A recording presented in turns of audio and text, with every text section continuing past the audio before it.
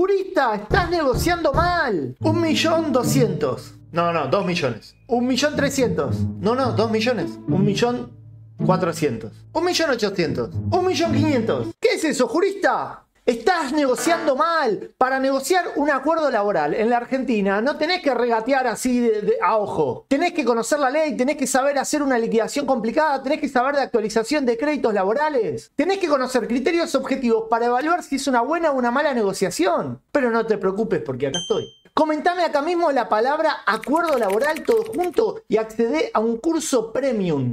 Un curso que tardé más de 6 meses en hacer que resume mis 12 años de experiencia como abogado laboralista. Y deja de regatear tus acuerdos laborales sin sentido y seguime para más consejos.